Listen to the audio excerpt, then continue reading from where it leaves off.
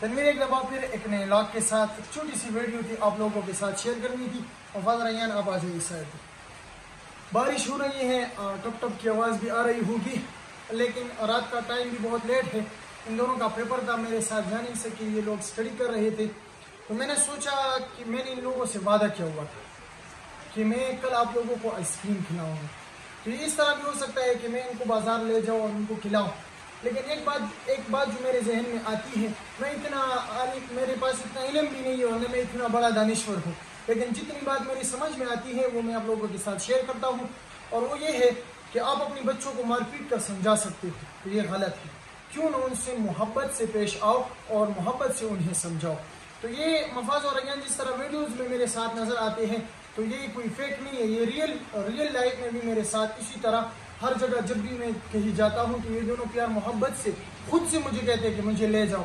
और जा, मैं जब कोई काम इनसे कहता हूँ कि ये ये दोनों वो काम भी बड़े शौक से करते हैं। तो ये क्या है? ये मेरा मोहब्बत है और प्यार है इनके लिए। और ये इनका प्यार और मोहब्बत है मेरे लिए।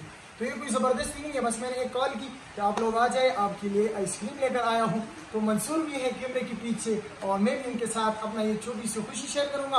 तो ये मैसेज था आप लोगों के लिए और अपने बच्चों के साथ अपनी खुशियाँ बांटो और अपने बच्चों को खुशियाँ दो। अल्लाह आपको भी खुश रखेगा और आप सब के जितने भी साथी होंगे वो भी खुश होंगे इनशाला तो ये छोटी सी वीडियो थी आप लोगों के साथ शेयर की। उम्मीद है आप लोगों को पसंद आई होगी। अपने बच्चों को प्यार दीजिए दी, प्यार दीजिएगा और तनवीर को इजाज़त दीजिए। खाद आबाद रहिए। अल्लाह हाफिज़।